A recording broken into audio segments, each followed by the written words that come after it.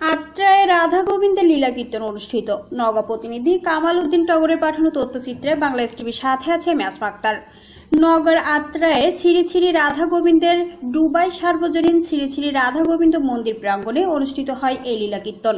প্রতি বছরের ন্যায় এবছরে রাধা গোবিন্দের লীলা কীর্তনের আয়োজন করা হয় বলে জানান কীর্তন কমিটির সদস্যগণ। দেশমাতৃকার শুভকামনা ও বিশ্ব শান্তিকল্পে ষোলো প্রহর ব্যাপী শ্রী শ্রী রাধা গোবিন্দের কীর্তন ২৬ বছর ধরে আয়োজন করে চলেছে সনাতন এই ধর্মাবলম্বীগণ।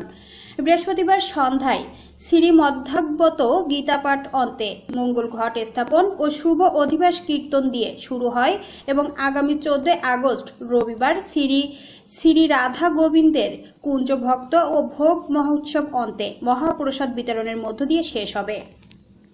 এই লীলা কীর্তনে মোট চারটি দল পরিবেশনায় অংশগ্রহণ করে। কুমারী বাসনা, মহন্ত নন্দীগ্রাম, বগুড়া শ্রী সুবোধ চন্দ্র রায়, নবনিত্যানন্দ সম্প্রদায়, পলাশবাড়ি, গাইবান্ধা, শ্রীমতী শিখা, অনুশ্রী, মীনা শ্রী শ্রী লোকনাথ সম্প্রদায়, পলাশবাড়ি, রাজশাহী শ্রী নিতাই দেবনাথ শ্রী শ্রী মাধবেন্দ্র পুরী সম্প্রদায়, ভান্ডারগ্রাম, রানিনগড়, নওগাঁ লীলা কীর্তন আয়োজক কমিটির সভাপতি শ্রী অখিল ও সেক্রেটারি শ্রী সনাতনের সাথে শনিবার তেরোই আগস্ট দুপুরে আমাদের প্রতিনিধি কামাল উদ্দিন টগরের একান্ত সাক্ষাৎকারে তারা আক্ষেপের সুরে জানান, পঁয়ত্রিশটির মতো হিন্দু পরিবার আছে যাদের অধিকাংশই দিনমজুর বেশি পরিমাণ চাঁদা দেওয়া কোনোভাবে সম্ভব নয়। যদি সরকারিভাবে একটু সাহায্য পেত, তাহলে এই ধর্মীয় অনুষ্ঠানটি আরও ভালোভাবে করা যেত।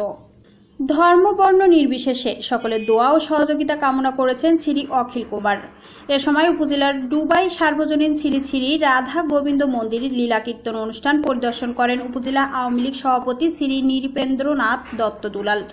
আত্রাই উপজেলা হিন্দু বৌদ্ধ খ্রিস্টান ঐক্য পরিষদের সভাপতি শ্রী স্বপন কুমার দত্ত।